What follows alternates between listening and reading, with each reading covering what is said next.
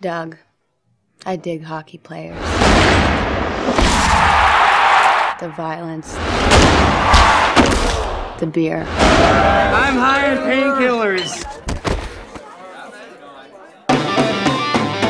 Graham hockey player. They call you Thumb for Christ's sake. You're like the Hebrew Dolph Lundgren. You're not here to play hockey. You're here to fight. I'm horny a lot. Yes!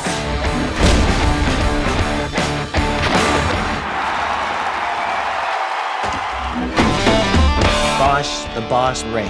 He is the master. He won't be heard from till next week. I hit, eh?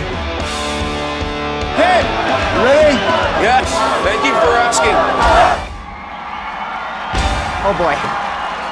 This has all the elements of a sports masterpiece. I want to see every single one of you work your asses off until your guts out. This is not baseball!